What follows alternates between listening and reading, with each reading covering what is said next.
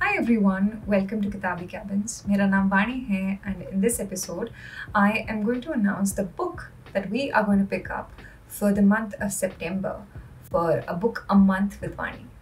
And I know reading Em and the Big Hoom was such a beautiful journey and I've received the feedback of so many of you telling me how much you loved the book. But I hope like the month of September won't disappoint us.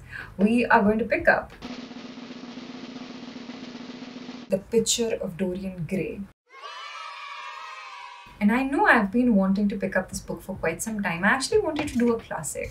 And this is one of the few classics that I absolutely love, but do not remember because I read it when I was very, very young. But there are bits of it that I've underlined and I go back to, and I think it'll be a beautiful journey for all of us. It's a statement on decades, a statement on how we look at ourselves and how we want to perceive ourselves.